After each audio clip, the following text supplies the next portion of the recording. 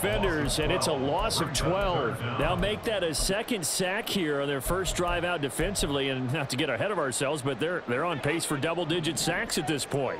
Well, they're going to have to find a way to tamp that down, aren't they? So if you're the play caller, you're telling your quarterback maybe some screens, maybe some draws, hard count, use your voice inflection a little bit, anything to try and slow that pressure down.